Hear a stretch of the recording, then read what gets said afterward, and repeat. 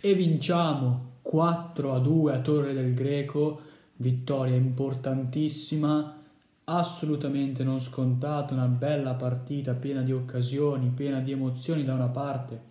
e dall'altra un Crotone che porta a casa tre punti, quello che ci interessava, quello che eh, aspiravamo a fare ovviamente quest'oggi, una vittoria che ci permette di tenere il passo di Pescara di Catanzaro, Pescara scavalcato, 25 punti, Catanzaro sempre a meno 3 e prossimo eh, match assolutamente importante, vi ricordo, in casa all'uscita col Picerno, squadra eh, ostica che lotta per la salvezza, che sicuramente verrà Crotone per eh, il pareggiotto, diciamo, per fare un punto al massimo, perché poi magari vincerà, però l'obiettivo secondo me sarà poi quello e quindi sarà importante che quella farla nostra. Detto ciò, vittoria. Tutto sommato eh, meritata in una partita comunque eh, in cui ci sono stati diversi episodi arbitrali eh, da una parte e dall'altra, eh, la Turis che reclama per eh, un fuorigioco di Cargbo sul gol dell'1-1, per quanto eh, secondo me non è fuorigioco perché c'era Maniero che lo teneva in gioco, poi ovviamente eh, noi eh, in quanto spettatori non possiamo valutare perché la telecamera è posizionata in un'angolazione tale che è impossibile dire fosse avanti o meno, eh, così come anche Maniero sul primo gol se vogliamo. Poi proteste anche per il possibile fallo di Mogos eh, prima che avvenisse poi il gol del 4-2 che poteva cambiare ovviamente le sorti del match Lì anche quello difficile un po' da valutare, ma più che altro perché Mogos ehm, stava per... Ehm, cioè praticamente la palla era nella disposizione di, Go, di Mogos perché aveva protetto palla, poi ehm, frana all'indietro sull'attaccante, ma lì onestamente non so neanche che cosa, che cosa dire perché è un, è un po' fallo di entrambi alla fine, quindi posso anche capire perché l'arbitro abbia lasciato correre ma al di là di questo un Crotone che oggi eh, ha meritato per quanto creato sullo 0-0, cioè prima del gol del vantaggio della Turris, eh, anzi in realtà diciamo prima del gol del pareggio eh, di Cargbo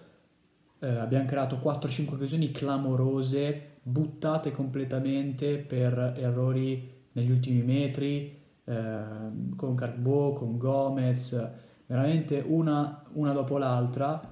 e sicuramente sotto questo aspetto bisogna migliorare per quanto abbiamo comunque fatto e realizzato 4 gol.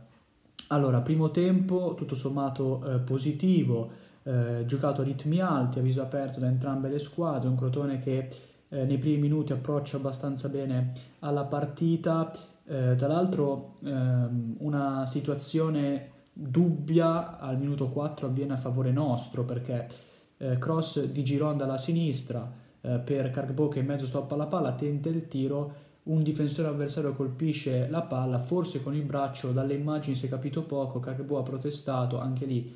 episodio dubbio che è difficile da valutare e quindi lo diamo per buono quello che ha deciso l'arbitro. E poi eh, in una fase di gara in cui come dicevo si gioca a viso aperto le occasioni eh, sono diciamo si crea una grappoli da entrambe le parti, ma in particolare il Crotone che grazie alle sovrapposizioni, grazie ai cross delle fasce si rende eh, molto, eh, molto pericoloso. Eh, una Turris che cerca di ripartire in questa fase sfruttando i nostri errori, però non è che crei particolari pericoli se non poi il gol di Maniero. Al dodicesimo infatti eh, buona azione eh, da parte della, della Turris che con Leonetti mette questo cross ehm, eh, basso in mezzo sul secondo palo, tutti fermi, eh, quelli del Crotone, sbuca Maniero che trova il gol del vantaggio. Arriva poi eh, al ventinovesimo, dopo tra l'altro un Crotone che nei primissimi minuti eh, successivi al gol subito abbiamo un po' sofferto, comunque non siamo riusciti a reagire, però a lunga siamo usciti fuori e dal ventesimo abbiamo iniziato a macinare ancora una volta occasione, al ventitresimo eh, ottimo tiro da fuori di eh, Chiricò che eh, sbatte sul palo e poi al ventinovesimo dopo una serie di calci d'angolo Tribuzzi eh, mette questa palla alla sua terra in mezzo che ricorda moltissimo il gol del vantaggio della Turris. Sul secondo palo sbuca Carbo la stoppa e eh, batte Perina. 1 a 1 Crotone che finalmente trova il gol. Ehm, anche qui proteste per un possibile fuorigioco, ma eh, ripeto quello che ho detto anche eh, inizialmente. Crotone che poi è bravissimo a fare subito il secondo, dopo tra l'altro anche qui proteste per un possibile fallo di Carbo sul calciatore avversario, non, non ricordo chi fosse. Ehm, fatto sta che l'arbitro non eh, concede nessun tipo di punizione a favore della Turris, angolo battuto da, Petri, da Petriccione che sul primo palo trova eh, Gomez che di testa eh, fa, fa gol contento di aver fatto gol anche su calcio piazzato che non è cosa da poco. Tra l'altro Crotone che poi al 36esimo ha avuto anche un'occasione importante con Giron che tenta il tiro da fuori, eh, palla che sbatte però sulla traversa. Ultimi minuti in cui la Turris in realtà reagisce alla mazzata eh, all'1-2 del Crotone e eh, spingendo soprattutto dalla parte Ionetti perché loro hanno attaccato quasi sempre dalla, dalla parte sinistra da dove noi abbiamo Calapai diciamo Ehm, ecco, una Turis che reagisce, che mette diversi cross eh, pericolosi in mezzo, eh, Crotone che mh, soffre, perché tutto sommato soffre, tenta di ripartire sfruttando comunque gli errori avversari, ma non riesce ad essere incisivo. Non concediamo chissà che occasioni, però eh, hanno loro eh, il pallino del gioco, se vogliamo, e eh, ci mettono un po' in difficoltà. Così avviene per tutto l'arco del secondo tempo, un Crotone che abbassa notevolmente il baricentro eh, e ehm, tut, per tutto l'arco del secondo tempo ehm, gioca veramente poco palla a terra, lancia la palla in avanti dalla difesa verso gli attaccanti eh, per cercare poi anche di sfruttare le seconde palle, eh, anche perché loro comunque centrocampo hanno concesso tantissimi spazi eh, sulle fasce idem e quindi in un certo senso in vantaggio Crotone che ha deciso di eh, usare, utilizzare questo tipo di eh, modo di giocare se vogliamo.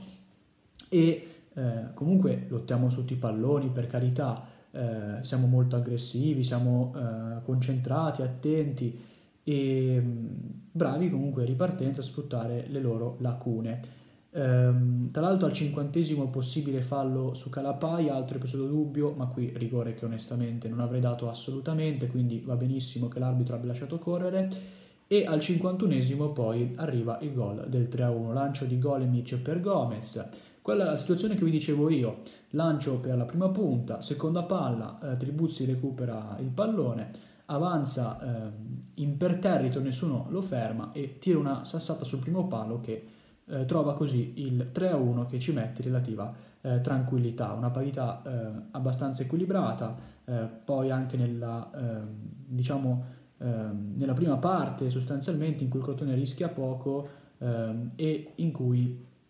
come dicevo, si conferma eh, comunque una, una squadra che crea, che c'è e che è presente in campo. Nella fase centrale, come dicevo, eh, forse siamo un po', anzi, leviamo il forse, siamo sicuramente calati, abbiamo abbassato ancora di più il baricentro, abbiamo fatto eh, fatica a ripartire sofferto la manovra della Turris che, ripeto, non crea chissà quali eh, pericoli, però eh, soprattutto poi dopo ehm,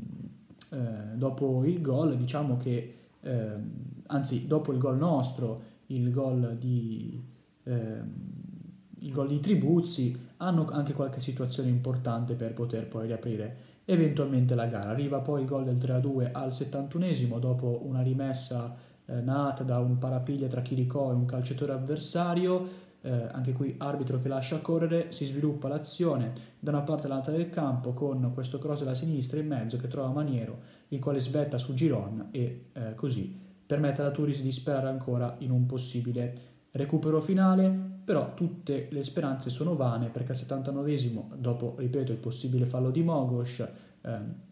arbitro che non eh, vuole eh, comunque fischiare i calci di rigore, riparte così l'azione del Crotone con Petricione che di prima lancia eh, per Cargbo, il quale avanza eh, verso l'area, la mette, mette questa palla all'esoterra eh, che attraversa tutta l'area, che trova sul secondo palo Chiricò, che così ci permette di eh, affrontare gli ultimi minuti con relativa tranquillità perché poi anche negli ultimi minuti la Turris ha avuto due occasioni con un tiro da fuori di Frascatore e un tiro di Sant'Agnello dopo un calcio d'angolo che potevano eh, sicuramente riaprire il match ulteriormente, ma un Crotone che si difende, devo dire, abbastanza bene, qualcosina abbiamo concesso perché, c'è da dirlo, la Turis si è resa comunque pericolosa, ma hanno un ottimo reparto offensivo, quindi è anche normale che eh, creino eh, dei pericoli alla nostra retoguardia. Per il resto Crotone che eh,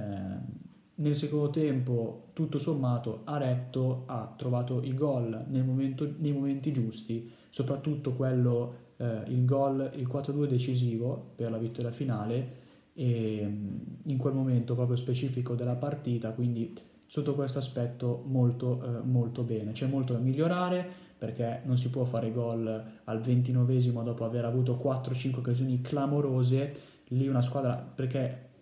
la differenza che in, che in, questo momento noto tra Catanzaro e Crotone è quello, cioè anche il Catanzaro crea tanto, ma con quelle 4-5 occasioni il Catanzaro stava già 2-3-0. Qual è la differenza? Bisogna essere molto ma molto più incisivi, perché mh, oggi comunque siamo stati bravi a, ri- a, ribaltare la partita, però non sempre è così facile, ecco, perché comunque loro hanno concesso tanto dietro. Oggi abbiamo creato eh, innumerevoli occasioni anche per limiti avversari nella fase difensiva non sempre eh, abbiamo così tante occasioni, quindi è necessario essere più incisivi, ma questo lo ripetiamo dalla prima giornata. Occasioni pericolose 4 a 9 e velocemente le mini pagelle, bene, direi quasi tutti. Golemic, ottima prestazione difensiva, sempre attento, eh, bene, bene anche Cuomo, anche lui buoni interventi, anche nei contrasti. Bene anche Petriccione, geometrie, eh, da geometrie alla manovra, eh, ottimi passaggi, in fase di impostazione assolutamente bene. Bene anche Gomez che ha lottato, che eh, ha corso, ha trovato il gol, poteva farlo anche in altre situazioni, però tutto sommato buona prestazione, così come Cargbo che non aveva pagato molto bene perché ha sprecato tanto nei primi minuti, però poi ha trovato il gol e è stato sempre una, una spina nel fianco della eh, difesa avversaria allora, male vi dico Chiricò. Allora, vi, vi, dirò due giocatori che hanno fatto male, ma male io intendo per giocatori che hanno fatto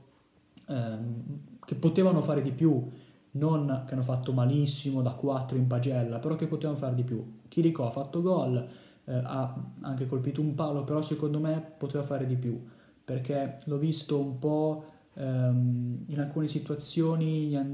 andare con il freno a mano tirato soprattutto forse nella fase centrale della partita, però per il resto